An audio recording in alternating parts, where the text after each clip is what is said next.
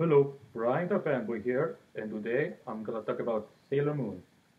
Now, um, I first learned about Sailor Moon, at least found out about her, when I saw the commercial for the for the dolls back when I was um, eight years old. Of course, I didn't ask for them because, well, boys don't ask for dolls. We ask for action figures. Well, anyway, a short while after that, I started watching um, a few episodes, and uh, well, uh, I was just only because I was curious because you know I wanted to know what this whole Sailor Moon thing was all about. And you know, um, I did see some episodes, but uh, thing is that uh, it just didn't do it for me. I mean, I was I never got into it, especially when I was a kid. Mostly because you know it was targeted towards uh, young girls, and you know since I was a small boy at the time, then uh, you need to see why. And also, uh, I was a big fan of Power Rangers that um, no other show didn't um, couldn't outdo it. At least uh, that was what I think at the time. And then, oh yes, and also you know back then I didn't tell anybody that was watching it because Sailor Moon, of course, because uh, they know what we make fun of. And like I said before, it was because the reason was because the show was intended for girls, and yeah, things back then was. Um, but of course, these days uh, nobody cares. Now, um. Oh yes, uh, a few years later, uh, I think I was during my early teens. Well, um, I found episodes of Sailor Moon on Cartoon Network's Toonami block. And it was back when Toonami, you know, went from 5 p.m. to 7 p.m.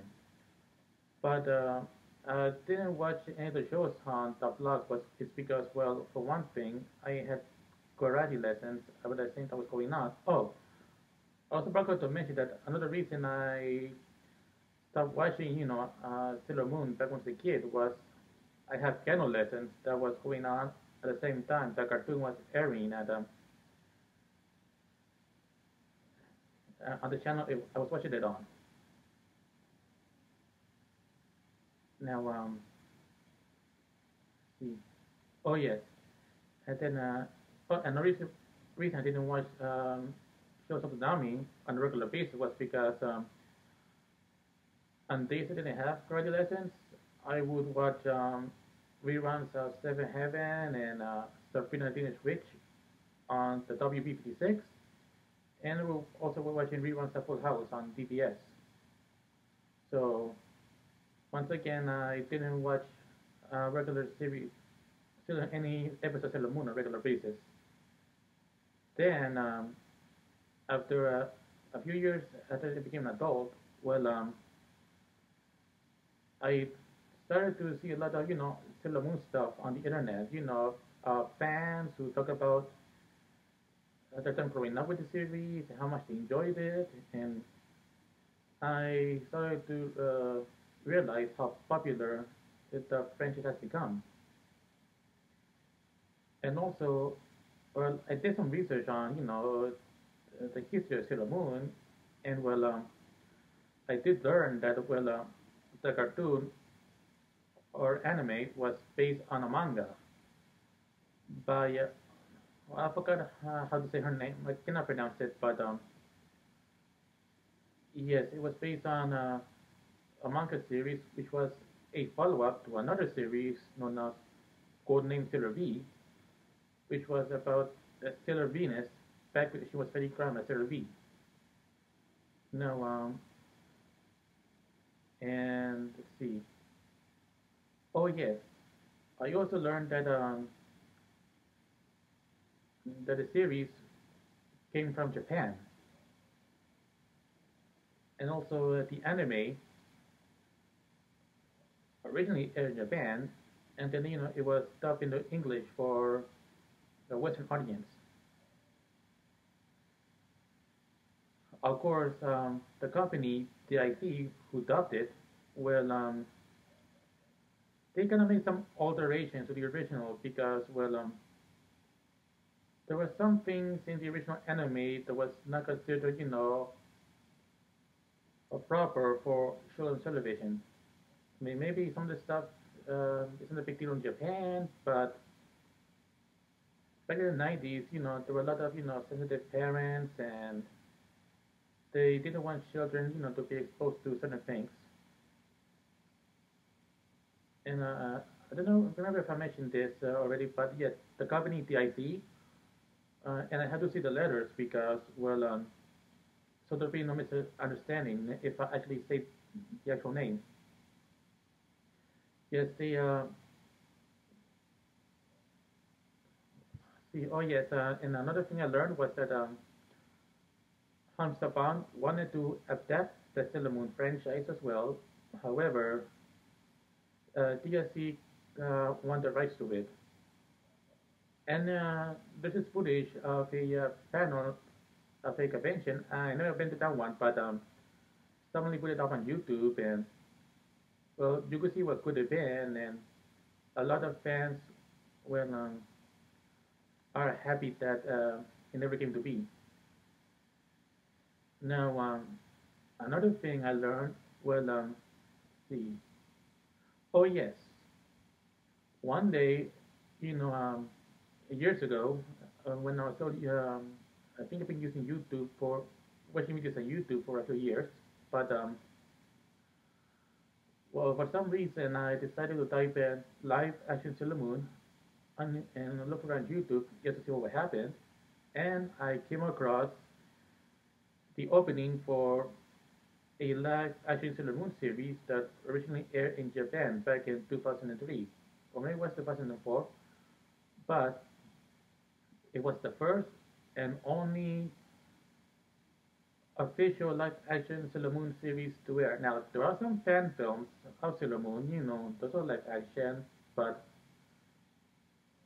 this one was made by Toei, the company that uh, owns Sailor Moon, at least uh, the series that we the makes the Sailor Moon uh, series, as well as, you know, tokusatsu series like uh, Super Sentai and Kamen Rider. And, well, um, I did see, uh, after I started watching the live action Sailor Moon series, I actually enjoyed it. And this was the series that uh, officially made me a fan of tokusatsu. Now, uh, I know the special effects Oh yeah, I forgot to mention uh, the title of the live action Sailor Moon series is Pretty Guardian Sailor Moon, or PGSM for short. Now, full episodes used to be on YouTube for free, but it was removed, and I understand why.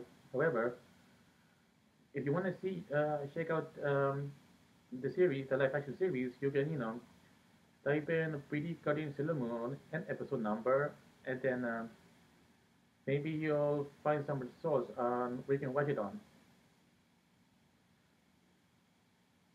Yes, and also it's because of the live action Sailor Moon series that um, I refer to the characters by the original Japanese names instead of um, the English ones they were given by DIC.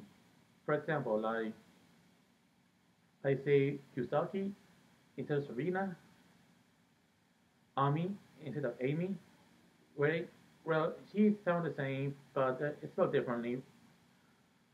And see, oh, Mako instead of Lita, and Minako instead of Mina. And as for uh, Tuxedo Mask or Tuxedo Kamen, I say uh, Mamoru instead of Darien. And also, I say Tuxedo Kamen instead of Tuxedo Mask. And I guess it must be because, you know, after watching, you know, every episode of the Life the Moon series, I've gotten used to it. So, um, yes. Oh, and I have uh, read the Sailor manga as well. Uh, I bought, you know, I completed buying all the volumes that uh, passing Comic Con. Of course, I bought uh, four volumes each year until I finished the collection. But um, yes, I did read it. But eventually, I kind of you know gave it away to the public library because well, there was one volume they had something that I like, which I'm not gonna mention. But anyway, yeah, to give it away. But if I want to read the manga, I could always, uh, you know, read it digitally. Oh, and also, uh, I, I did, oh yeah, I forgot to mention about the uh, live action television series. Well, um, the they had a lot of uh, good songs in Japanese. They're all Japanese, but um, even though I don't understand what they're saying, uh, the songs are really catchy and I really enjoy hearing them. In fact, there was one song I enjoyed from the series called C'est la vie by Aino Minako, aka Sailor Venus. And it's a really good song. And if you on YouTube and type in um, Aino Minako, C'est la you can listen to the song and you're going to like it, trust me. And uh, I think my second favorite would be uh, Romance Baby. Yeah, also sang by Aino Minako. Now, uh, let's see. Um,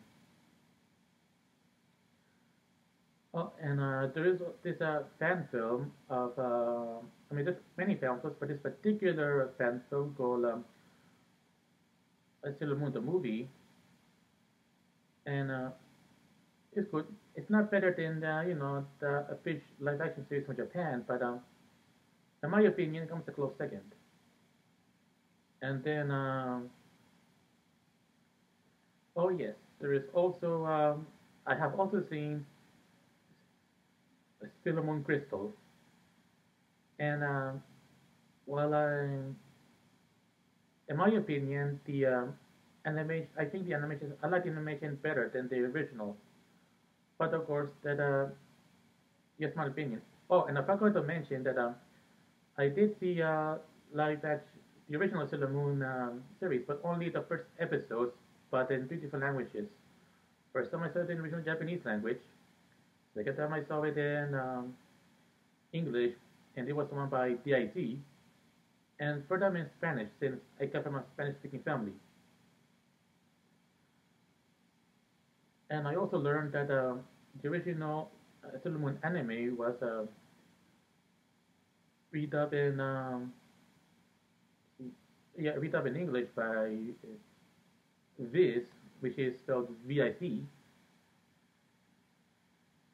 And let's see. Um, oh yes, um, back to Moon Crystal. Yeah, like I said before, um, I like the uh, um, animation in that series better than the original, but uh, that's just my opinion.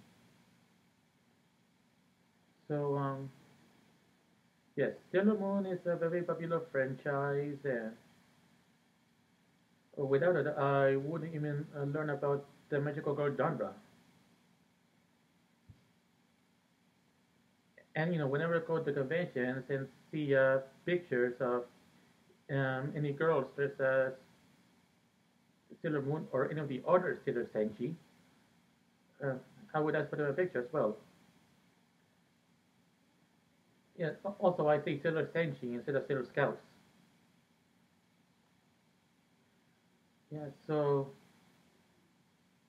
um, even though I'm not um, a hardcore Sailor Moon fan, I do have respect for it, and and anybody who likes it, then uh, that's fine because you know, if they like it, they don't like it, and um, I'm fine with that.